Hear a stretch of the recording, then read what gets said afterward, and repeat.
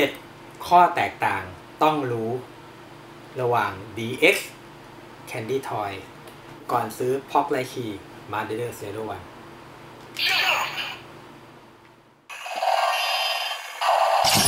Authorize. Rider Auto TV โย สวัสดีครับ Rider Auto TV ครับ วันนี้ผมมีเรื่องที่เพื่อนๆต้องรู้ก่อนที่จะซื้อ Progrise Key ของ Masked Rider Zero-One ไปเล่นเนี่ยมาบอกทุกคนครับ Progrise Key Zero-One เนี่ย DX Candy Toy เนี่ยมันมีความแตกต่างกันมากมายหลายจุดเลย คัดมาทั้งหมด 7 จุดที่มันดูง่ายๆ เห็นชัดๆ มาบอกเพื่อนๆครับ 7 จุดเนี้ยใช้ได้ตั้งแต่คนจะเข้าไปซื้อของใหม่ในห้าง ทั้งที่เมืองไทยและที่ญี่ปุ่น หรือคนที่กำลังช้อปปิ้งออนไลน์อยู่ เห็นภาพตามเพจ Facebook ตามกลุ่ม หรือตาม Shopee ตาม Lazada ก็ดูปุ๊บรู้เลยว่าอันไหนเป็น DX เป็น Candy Toy หรือจะเป็นกลุ่มที่มีโอกาสเข้าไปเลือกของเองจับของเองที่โกดังมือสองญี่ปุ่นที่กระจายอยู่ทั่วประเทศไทยตอนนี้ หรือมีโอกาสซื้อที่ญี่ปุ่นเอง 7 ข้อนี้ก็ใช้ได้เหมือนกันครับ จุดที่ 1 กล่องและราคาครับ ถ้าเรายืนอยู่ที่ห้างเนี่ยเราจะเห็นชัดเจนเลยว่า DX เนี่ยกับ SG หรือ Candy Toy เนี่ย กล่องมันต่างกันมากเลย กล่องของ DX จะเป็นกล่องสี่เหลี่ยม จริงๆมันคือห้าเหลี่ยม แล้วก็มีมีปีกขึ้นมาด้านบนแบบนี้นะเดี๋ยวผมให้ดูก่อนเห็นไหมปีกมันจะสูงขึ้นมาเหนือกล่องขึ้นมาอีกเท่าหนึ่งแบบนี้นะครับ ที่บอกเป็นห้าเหลี่ยมเพราะว่าด้านหน้าของ DX เนี่ยมันจะเป็นมุมหลบแบบนี้เห็นไหมเขาทำออกมาเป็นแบบให้เป็นเอกลักษณ์เป็นห้าเหลี่ยม 1 2 3 4 5 แบบนี้นะครับ นี่คือ DX ส่วนของ SG Candy Toy เนี่ยกล่องก็จะเป็นสี่เหลี่ยมธรรมดา แบบนี้นะครับ เป็นแพคเกจจิ้งก็จะเป็นสี่เหลี่ยมธรรมดา DX เนี่ยจะวางขายในห้างญี่ปุ่น ทั่วไปแทบทุกห้างอีออนเนี่ยโซนของเล่น ส่วน Candy Toy เนี่ยก็จะวางอยู่ในบางแค่บางร้านเท่านั้น ร้านใหญ่ๆบางร้านก็จะไม่มีจะเป็นร้านกลางๆ หรือร้านสะดวกซื้อ หรือร้านที่อยู่นอกห้างออกมาหน่อย ก็จะหาเป็น เป็น SG ได้ดองกี้ดองกี้มี SG หาได้ ราคา DX เนี่ยเขาเปิดมาใหม่ๆอยู่ที่ 1,650 เยนประมาณ 1,600 เยน ส่วน SG เนี่ยราคามาตรฐาน SG Candy Toy ก็อยู่ที่ 500 เยนนะครับนี่คือจุดที่ 1 ที่สังเกตได้ง่ายเลย Candy Toy เนี่ยเราต้องมาประกอบเองเพราะเลขคีย์จะมาโล่งๆสติกเกอร์ต้องมาติดเองครับ 2. ปุ่มกดด้านบน เวลาเราซื้อของตามเพจเนี่ยเราจะเห็นแค่รูปถ่าย เท่านั้นส่วนใหญ่จะไม่มีกล่อง ดังนั้นจุดที่ 2 ที่เราจะสังเกตได้ก็คือ ตรงนี้ครับ ปุ่มกดด้านบน ฝั่งนี้จะเป็น DX ฝั่งนี้จะเป็น Candy Toy ปุ่มกดด้านบนของ DX เนี่ยจะเป็นสีเทาและกดได้ เป็นตัวเล่นเอฟเฟกต์ Grasshopper's ability. แบบนี้นะ ของ Candy Toy เนี่ยปุ่มกดจะเป็นสีดำกดไม่ได้ครับ เป็นปุ่มหลอกเฉยแบบนี้นะดังนั้นเนี่ยเวลารูปถ่ายมาตามเพจตามกลุ่มขายของเนี่ยก็จะเห็นยังเห็นอยู่นะ เราก็จะสังเกตได้ซูมดู จุดที่ 3 ที่เด่นและสังเกตได้ นั่นก็คือปุ่มเอฟเฟกต์ด้านข้างครับ นี่คือ DX เอฟเฟกต์ด้านข้างของ DX เนี่ยปุ่มเล็กๆ สีเทาแบบนี้ เอาไว้เล่นกับเข็มขัด แต่ของ Candy Toy เนี่ยปุ่มจะเป็นปุ่ม สี่เหลี่ยมใหญ่ ๆ ตรงนี้ครับ เอาไว้กดเล่นกับเอฟเฟกต์นี่นะ DX เนี่ย เรากดก็ได้แต่ว่ามันจะลำบาก แต่ Candy Toy เนี่ย หัวใจหลักมันอยู่ตรงนี้เลยเอาไว้เล่นกด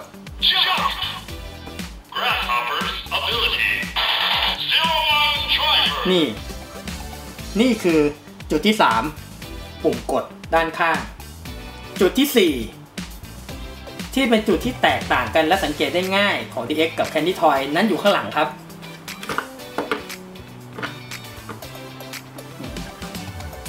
มองเห็นไหมครับ จุดนั้นก็คือ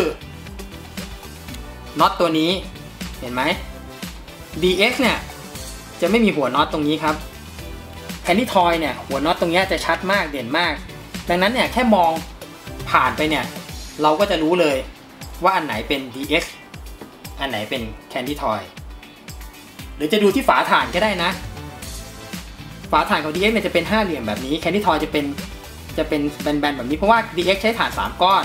Candy Toy ใช้ถ่านสองก้อน แต่ฝาถ่านเนี่ยผมไม่อยาก ผมไม่อยากให้ยึดเอาเป็นจุดสังเกตหลัก เพราะว่าสำหรับ Candy Toy บางอันที่เป็นชิ้นพิเศษ Bandai อาจจะทำหลอกมาเป็นฝาถ่านแบบนี้ก็ได้ แต่ใส่ถ่านสองก้อน มีนะ ในทุกซีรีส์ Bandai ทำมาหลอกมาตลอด ดังนั้นจุดสังเกตข้อที่ 4 ที่เห็นได้ชัดมากที่สุดในด้านหลัง ก็คือ น็อตนี่นะครับจำไว้นะ ดูตรงนี้เลย จุดที่ 5 เอฟเฟกต์แสงสีเสียงครับ DX แสงสีเสียงจะมาจัดเต็ม แบบนี้นะ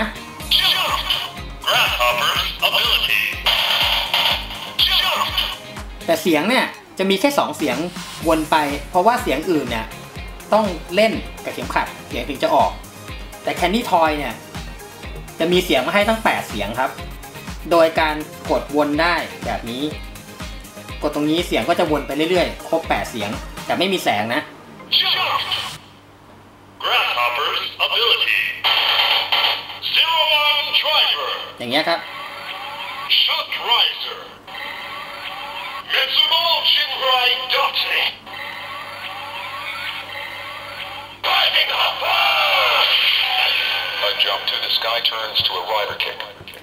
นี่เป็นหนึ่งจุดที่แตกต่างกันมากๆสำหรับคนที่กำลังจะซื้อเนี่ยก็เอาไว้พิจารณานะครับว่าชอบแบบไหน จะเอาไว้เล่นกับเข็มขัด หรือว่าเอาไว้สะสมเล่นเองสำหรับจุดที่ 6 ครับ เป็นหนึ่งจุดที่เราสังเกตใช้สังเกตได้ กรณีที่เราไปเจอของอยู่แบบตามโกดังญี่ปุ่น แล้วไม่ได้ใส่ฐานมา เราก็ไม่รู้ว่า อันไหนมีแสงมีเสียง เพราะว่ากดเล่นไม่ได้ใช่ไหม นั่นก็คือฝาด้านหน้าครับ DX เนี่ยฝาด้านหน้าเนี่ยมันจะเปิดแล้วมันจะเหมือนมีสปริงแบบนี้ เห็นไหมครับเอามาสะบัดเล่นได้เหมือนในหนังอะมันจะแตกแตก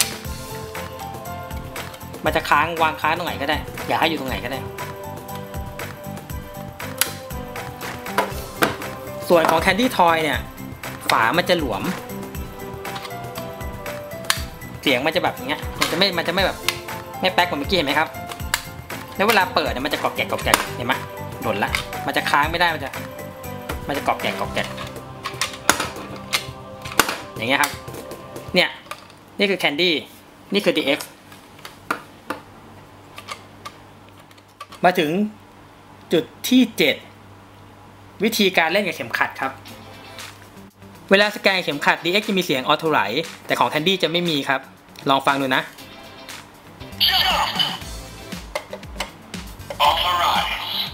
ได้ยินไหมครับ authorize Authorize. authorize Candy จะไม่มี นี่คือข้อแตกต่าง กรณีที่เรามีเข็มขัดเล่น แล้วก็วิธีการเล่น DX เนี่ย กด สแกน เปิด เสียบ ได้เลย จะเป็นเข็มขัดหรือจะเป็นกับปืนช็อตเลเซอร์เนี่ย ก็หลักการเดียวกันกดสแกนเสียบ ได้เลยมีเสียงเท่าไหร่เหมือนกันเล่นได้เลย นี่คือ DX แต่ Candy Toy เนี่ยด้วยความที่มันมี 8 เสียงวน จะเล่นกับเข็มขัดอะไรก็ตาม ต้องกดให้เสียงมันวนมาถึงตำแหน่งของมันก่อน ถึงจะเล่นได้พอดี ไม่งั้นมันจะไม่พอดีนะ ผมจะลองกดให้ดู อย่างเสียง Zero One Diver เนี่ยจะเป็นเสียง ต้องกดให้มันดัง Zero One Diver ก่อน เสียงที่3ก่อน Jump! 1ต้องกดนี้ก่อน อย่างนี้ครับ แล้วถึงเปิด เสียบ มันจะพอดีกับเข็มขัด ถ้าจะเล่นกับปืนช็อตเลเซอร์ก็ต้องกดต่อไป เป็นเสียงที่ Shotriser. 5เนี่ย ต้องเป็น Shotriser ก่อน แล้วก็เปิด แล้วค่อยเสียบ ถ้าเป็น Metsuboujinrai.net ก็ต้องเป็นเสียงที่ 7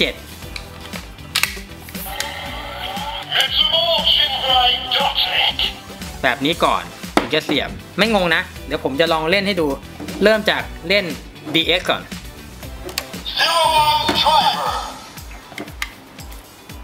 กด สแกน เปิดเสียบ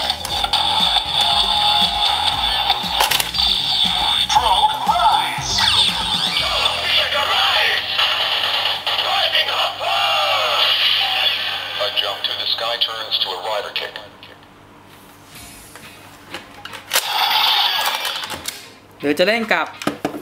ตัวปืนช็อตเลเซอร์ ก็กด ใส่ เปิด ยิง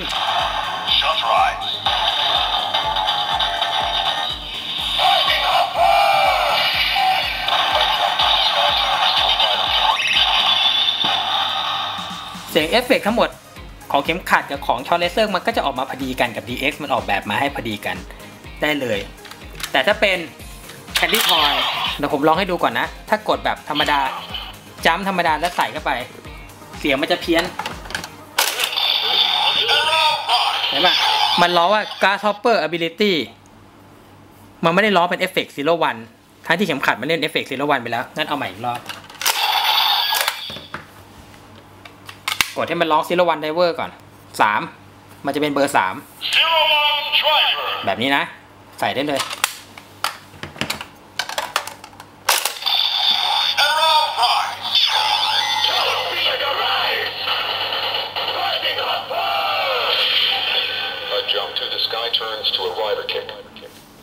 อะ เป๊ะไหมเป๊ะเนาะเอฟเฟกต์ออกมาตามที่คล้ายๆกับ DX ถึงจะไม่เหมือนกันแต่ก็คล้ายต้องเล่นแบบนี้ จะเล่นกับปืนก็เช่นกัน ปืนเป็นเศษที่ 5 ช็อตเลเซอร์ก่อน แบบนี้แล้วใส่เข้าไปเลย